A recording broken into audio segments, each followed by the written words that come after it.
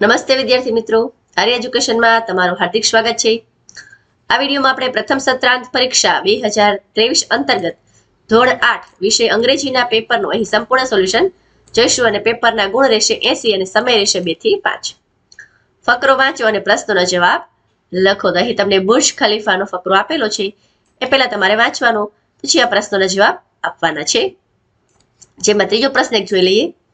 Cost of construction of Burj Khalifa is તો is પછી ખાલી જગ્યામાં તમારે લખવાનું US dollar one point five billion એ અહીં, આ જે લખ્યું છે, એ અહીં ત્રીજાનો આન્સર છે.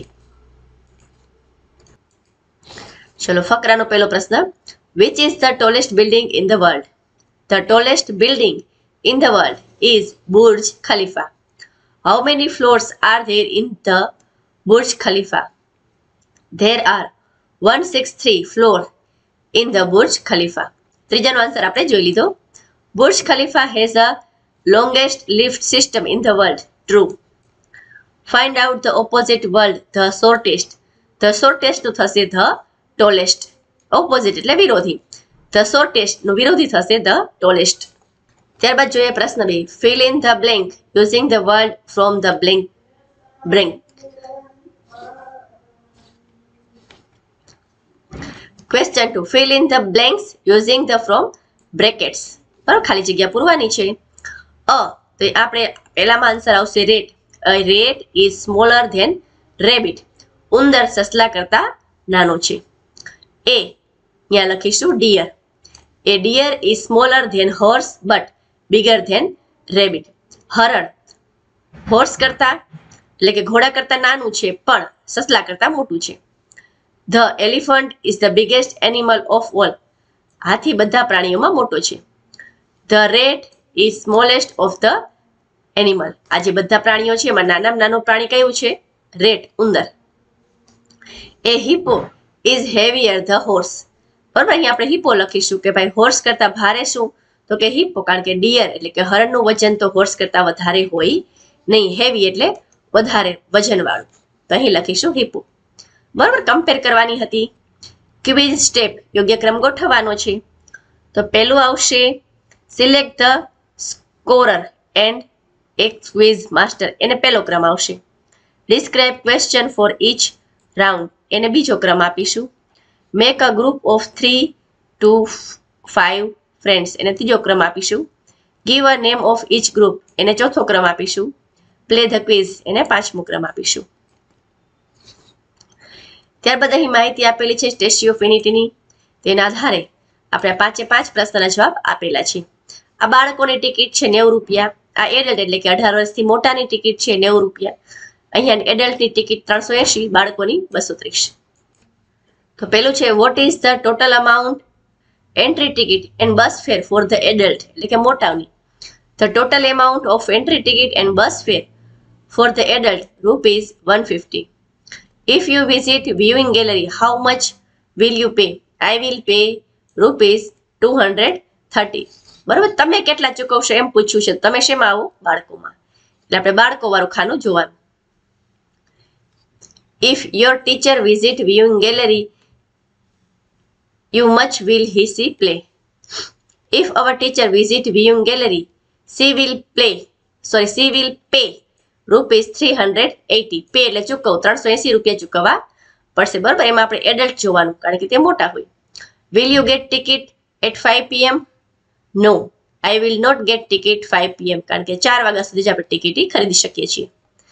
Amount for entry ticket and bus fare is charge is rupees ninety સાચું કે ખોટું? સાચું એટલે ટ્રુ લખવાનું. Question five complete the dialogue અહીંયા તમને જે શબ્દ આપેલા છે, બરાબર? જે શબ્દ આપેલા છે, એનો જ ઉપયોગ કરવાનો છે. Vrinda says mummy where have you kept my project work mummy says in your cupboard Vrinda says and where you have you put my colour box mummy says in your drawer Vrinda says I can't find my science book mummy says I have put it also in your cupboard have you put The audio CD in my bag? Mummy says, Yes, of course.